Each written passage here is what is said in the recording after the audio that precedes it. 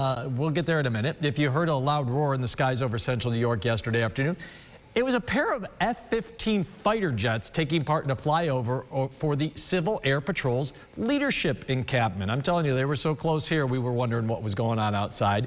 Nearly 200 cadets from across the Northeast taking part at Hancock Air National Guard Base. They will be taking part in team building exercises, learning military customs, courtesies, and live in military-style tents on the base for the week. All right, let's